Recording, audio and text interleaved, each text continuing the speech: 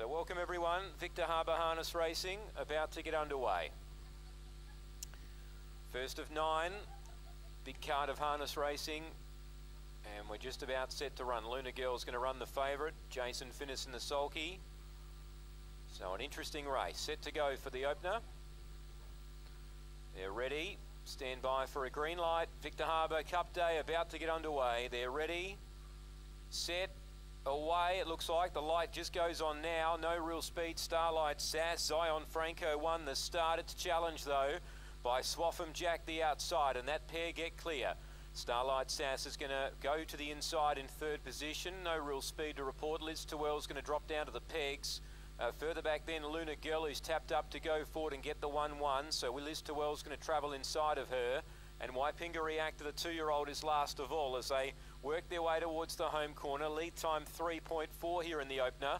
And the leader on the inside as they swing into the home straight is the well-back Zion Franco. Down from Mount Gambier, leads the way. Driver having a good peep to the right to see where his main dangers are. Swaffham Jack's outside the speed.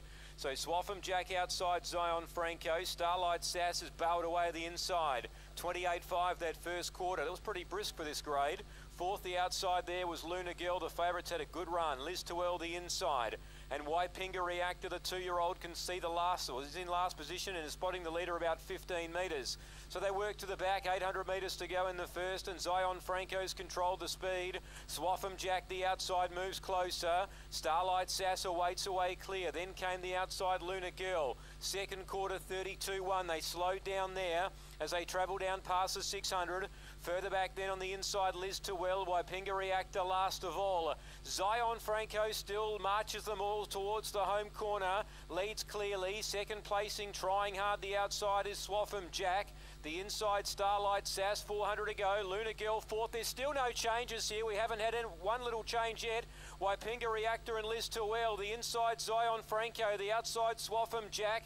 Starlight Sass trying to get out. It's about to get the run through now. Then Lunar Girl. It's on the inside now. Zion Franco still two, three metres clear. They've backed this at a price. Starlight Sass the inside. Swaffham Jack the outside. Zion Franco. Swaffham Jack's lifting and now Starlight Sass. Starlight Sass right up on the inside.